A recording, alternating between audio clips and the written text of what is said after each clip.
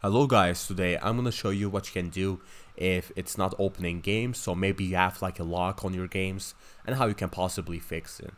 First of all, you wanna log out, just go over to your quick menu, log out like this, and then what you wanna do is you wanna make sure that you go over to the account that is the most important.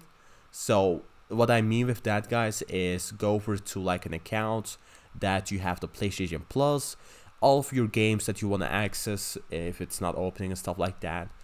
And you let's just say it's this account right over here, right?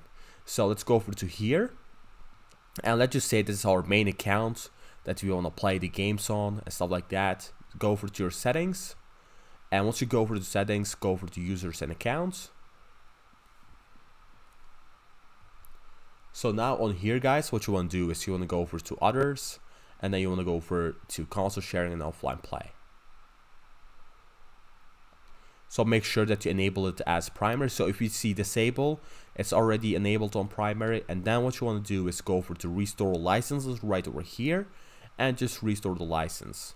So once you have done this guys, you can try to uh, access your other account and try to maybe play your games and it might work. If you still have problems guys, make sure that you're on the latest updates on the game. Make sure that your console has updated. So I'm gonna do it quite fast. So just go for the system software update settings. Make sure that you're on the latest update. Enable these two.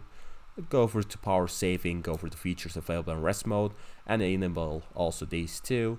And also make sure that you have enough storage. So go over to settings, go over to storage and go over to here and make sure that you have amount like a decent amount of free space. If you only have like 10 gigabytes of free space, um, that's pretty much not enough. You will have some errors with that. So make sure that you have a lot more. And yeah, stuff like that, guys. So thank you for watching. Please like, subscribe, and I hope you fixed your problem. Take care, guys.